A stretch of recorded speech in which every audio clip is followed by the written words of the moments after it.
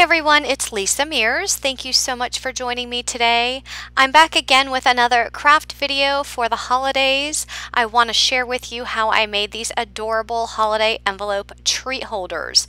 You can actually fit a Ghirardelli chocolate inside and these are made with an envelope die. They are so stinking cute, perfect for holiday gift giving. You can actually give these any time of year. It doesn't need to be just for Christmas time. Eh, you can give these for Valentine's Day. You can give these for thinking of you.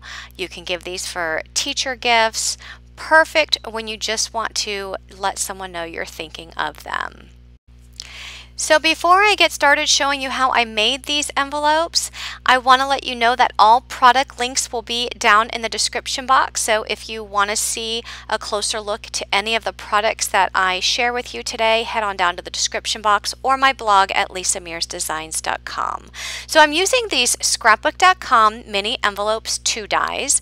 They come with two size envelopes. The larger envelope measures 2.5 inches by 2.5 inches when it is folded. And here's what it looks like when it's folded. So you can see it does make a perfect square. And you can stick any kind of treats in there. You can stick ephemera in there or just little notes that you want to share with your friends or loved ones. And here's the small envelope, what it looks like folded. This one measures 1.2 inches by 2.2 inches. Isn't that cute? Okay, so the stamp set that I'm going to be incorporating with my treat holders today is called the Stamping Village Holiday Seals. And there are all these circle stamps. This stamp set is unique because all of these seals or these stamps were created by different stamp companies. So you've got, for example, this one is Lawn Fawn, there is Pink Fresh Studio, there is Waffle Flower, Gina K Designs, Pink and Main, and many more. So you can see all of the seals. These are actually circles and they're about one and three quarter inches and each one of these circles has a beautiful Christmas or winter themed stamp inside. So I thought these would be perfect for my envelope treat holders. The paper pad that I'm going to be using is the Sunny Studio Holiday Cheer 6x6 paper pad. I'm not going to go through it because I don't have full sheets. If you want to see the actual paper pad in detail, I do have a video which I will link below where I used it to make mini coffee cup holders. And in that video, I do do a flip through of this paper pad. You will also need some Ghirardelli chocolates. So they're perfect size for the envelopes, square, and they will fit right inside of those envelopes perfectly. So I'm going to go ahead and take these stamps and I'm going to stamp them out onto some Spectrum Noir Ultra Smooth cardstock. I'm just going to lay the entire sheet of stamps on the door of the MISTI and I'm just going to use some washi tape to hold it down. This way I can just stamp all of those stamps at one time. So I'm going to ink these up with my Memento Tuxedo Black ink because I am going to use my Copic markers to color.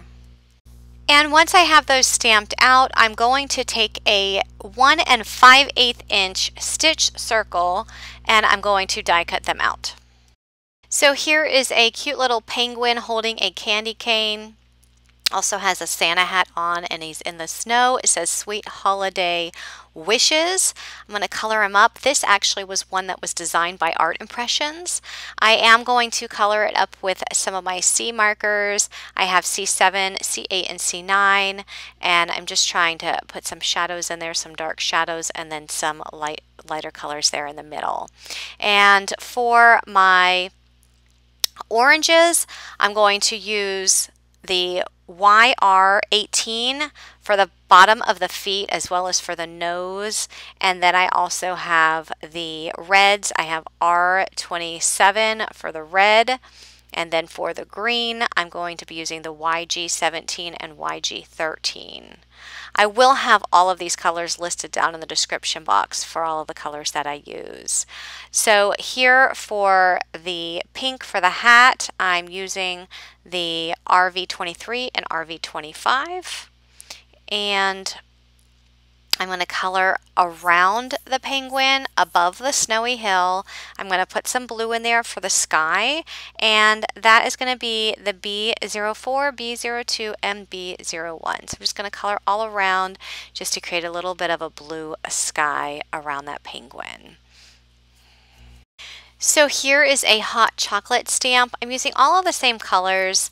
I didn't want to um, use any other different colors because I'm using the same paper pad and all of the colors I used with the first stamp, they all match the uh, papers that I'm going to be using. So I'm going to use the same colors throughout. This stamp was created by Pink and Main. It is a hot chocolate mug. It has these cute little Christmas trees on the mug and all of that whipped cream coming out. And it says warmest wishes. So I'm coloring the mug up in some pinks. The Christmas trees are green.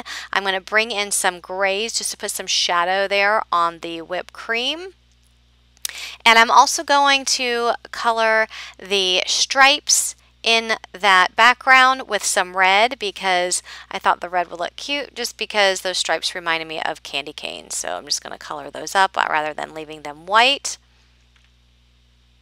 And I'm also going to come in and color around that circle. I wanted to finish up the coloring and just add some more accents there around. So I'm just taking one of my blue markers and just coloring around it. And then the last one that I'm going to color is this reindeer. And for the reindeer, I am going to be using some of my brown colors. So I will be using the E's. I have E of 51 and 53 and I'm also going to be using E 23, 25 and 27. So again all those colors will be down in the description box below. So just coloring up the reindeer. Notice how cute this reindeer is. It has some Christmas lights um, intertwined around the antlers. This stamp was designed by Lawn Fawn and it says happy holidays. I do give this one just a little bit of blue there in the background just to create a little bit of a blue sky to add more color rather than keeping it all white. Okay, so moving on, I'm going to take the largest envelope die and I'm going to die cut some pattern paper. Make sure when you're using pattern paper that you do have your patterns the right way before you die cut. And this envelope die puts all of the score lines in, so all you have to do is fold up the score lines and before you glue it together, I do suggest putting your chocolate inside the envelope because that chocolate is not flat, it's a little bit thick, you want to go ahead and glue your envelope together with the chocolate inside because you can see you have a little bit of a dome effect going on now, but there's plenty of room for that chocolate to be inserted. If you glue your envelope together flat without the chocolate in the middle, you might not have enough room to insert that chocolate once the envelope is glued together. So that's my tip to you. Put the chocolate in as you glue all of those flaps down. So now we have our envelope and do not glue the top. We're going to leave the top open and the chocolate will be hanging out from the top so you'll be able to see a little bit of it, of that chocolate there at the top. And then I'm going to lay that envelope so that the open side is face up I'm going to put a piece of ribbon along the back side and notice I'm just using some double-sided adhesive tape along the edges of the ribbon, wrapping it around that envelope. I did use a scallop circle die, die cut that out of pink, same color as the ribbon, and then I'm just going to layer on my circle with my stamped image right on top of the scallop. And then I'll go ahead and add my um, stamped image right to the front. Isn't that adorable? So once again, these would be perfect if you need to give gifts to coworkers, teachers, or just anyone to let them know you're thinking of them. So once again, all product links will be down in the description box and on my blog. If you like this video, please give it a thumbs up. And as always, if you have any questions or comments, I would love to hear them. So thanks so much for watching, everyone, and have a great day. Bye-bye.